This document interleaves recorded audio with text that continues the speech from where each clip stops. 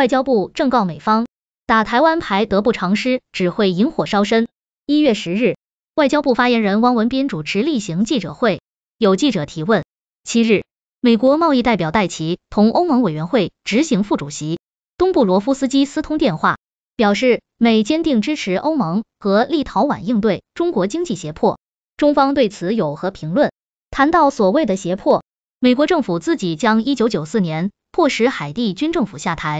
称为胁迫外交的范例。二零零三年，把三百零三亿美元的军费用途明确列为开展胁迫外交。美国不择手段打压法国阿尔斯通、日本东芝公司等竞争对手，胁迫台积电、三星等企业交出芯片供应链数据，是赤裸裸的勒索外交。汪文斌回应道，美方将中方维护国家主权的正当举措歪曲为胁迫，充分暴露了美国话语霸凌的虚伪性和欺骗性。